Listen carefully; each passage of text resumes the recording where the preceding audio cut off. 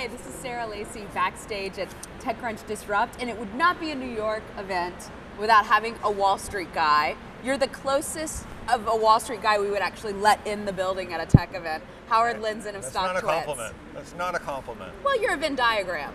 It's a compliment towards Wall Street. It- the point is, you're less douchebaggy than most Wall Street guys, so we let you in. According to who? But uh, that's a compliment. That, that's you. my judgment call. Tell us in a nutshell how StockTwits is doing.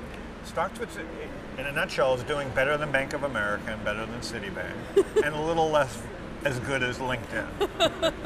so it's very easy to do better than Citibank. They have they do a lot of money, but the government helps them out. We have no government help. Uh, we haven't taken any TARP money yet, but we're willing. Yet. If somebody's out there with TARP money, we would take it. You know, ever the big issue with New York startups, and we've sort of been discussing the New York startups scene ad nauseum here for two days, is are kids stopping going to Wall Street? Are we keeping kids off the street? I hope so.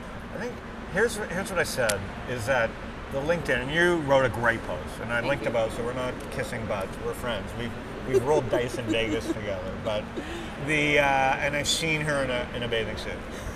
Yeah, without this. Oh, Thinner days. without that. The uh, I had that. So so the thing is Wall Street is not invited to this party. Mm-hmm. Therefore, only the media is invited. And what does the media know what to do except talk about bubbles? Right. even though there is no bubble. There's Right. still a bubble, as I would say on my blog, there's still a bubble in banking. There's a bubble in gold. But there is not a bubble in LinkedIn. LinkedIn's Right. a phenomenal company. 10 years to build. Well, the, Real defi- but the definition of a bubble is not one company. The definition of a bubble is me walking down the street and everybody owning shares in the same stock Mm-hmm. and talking about it all day. LinkedIn is catching the imagination of people because it was caught off guard. People were and caught there off have guard. been no big growth companies going public. There's been huge pent up demand for investors to buy growth stocks, and no one's been going public. And it's been building a business for 10 years. I mean, there's just, there's nothing bubbly. I mean, you can say it's overvalued, that's a different argument, but there's nothing bubbly about this company. No, no, gold is a bubble. LinkedIn is is a bull market. Now, LinkedIn may only be end up being worth three billion. I mean, right. it's It up may to be the execution. overvalued, but it's, It may, it's up to the execution now. But as I say about LinkedIn, and it's hated even on StockTwits, it's kind of the sentiment is like, oh my god, even that overvalued. But we talk more overvalued, not bubble on StockTwits. But the point is, it's a day old. They just gave birth to their ticker symbol, right. LNKD. Let's give it a little time.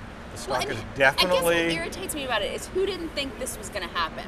I mean, I wrote something a couple weeks ago that basically said, and actually in my book in 2000, which came out in 2007, I said LinkedIn is going to be the first of this generation to go public. It's going to have a huge pop because there's going to be pent up demand, and everyone's going to call it the next Netscape moment and overstate it and say it's a bubble. Like none of this should have been a surprise to anyone who's been watching the industry. Yeah, but it was a surprise, and here's why it was a surprise. Because even I'm somewhat of a professional, and I really thought I'd be able to buy stock. I put an order in to buy stock in the 40s, not watch. Yeah. The last time I've ever done this was Chipotle's. I was away. I put in an order to buy 10,000 shares of Chipotle's because I love the company. My daughter and I eat there every day. I've talked about Uh-huh. It for five years. That's usually our uh, passwords for things at TechCrunch. At Chipotle? Which I should not say on on. We're gonna have to change them all now. But yeah, change because it Mike loves it. Because Mike change loves it it. to diarrhea because that's sometimes what happens. The the the issue around this is Chipotle's was the last great growth company that went public. It doubled the first day. People were like panicked. The stock's at two hundred and eighty dollars. Mm-hmm. Okay, and it debuted at twenty, opened at forty. Last time I tried to buy stock like that, I got it, and I called my broker, and I thought I would buy Chipotle's at twenty bucks. I got it at forty dollars. I was panicked. I was already paying two hundred thousand dollars more than I thought. right. On LinkedIn, I was a little smarter. I, so I thought. I put in an order to buy the same amount of shares at $45, dollars Mm-hmm. thinking that it wasn't going to be that successful. The first trade was $85.